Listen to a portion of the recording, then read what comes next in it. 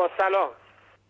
امیدوارم که خسته نباشید. روز خوبی داشته باشید انشالله من امروز می‌خواستم خدمتتون ارز کنم که امروز روز چهلم شهدای سی خرداد سی خرداد ایران بود. همه جای ایران فریاد بود. فریاد آزادی فریاد نابودی دیکتاتور. امروز امروز اشرف هم فریاد بود. فریاد بلند آزادی. امروز تمام پلیدی ها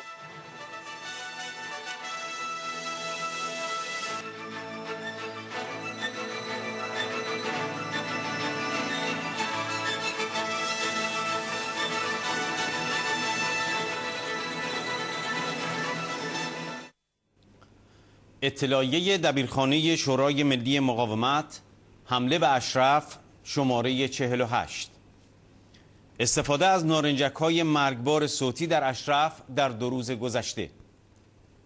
بر روی پوسته نارنجک های صوتی که نیروهای سرکوبگر عراقی در دو روز گذشته به وفور از آنها علیه مجاهدان اشرف استفاده کردند نکات زیر نوشته شده است. یک نارنجک بایستی به وسیله نفرات آموزش دیده‌ای که دوره موفقی را جهت استفاده از این وسیله برای اجرای قانون دیده اند استفاده شود. دو بایستی به صورت دید محیطی که این وسیله در آن پرتاب می شود خالی باشد و نفر نباشد.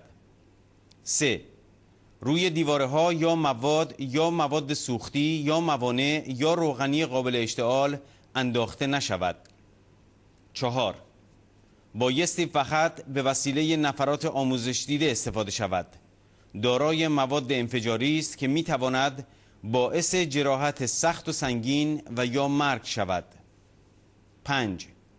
در هنگام استفاده بایستی چشم و گوش همیشه حفاظ داشته باشد. شش. برای تفرق تاکتیکی قابل پر کردن مجدد نیست. هفت. ساخته شده توسط کمپانی تکنولوژی دفاعی در محل کاسپر ایالت وایومینگ آمریکا. شماره سریال 75 43 40 نکات فوق که به روشنی مرگبار بودن این قبیل نارنجک ها را نشان می دهد استفاده عمدی از آنها برای کشتار ساکنان اشرف را در هر دادگاه بیطرفی اثبات می کند دبیرخانه شورای ملی مقاومت هشتم مرداد 1388 سیوم ژوئیه 2009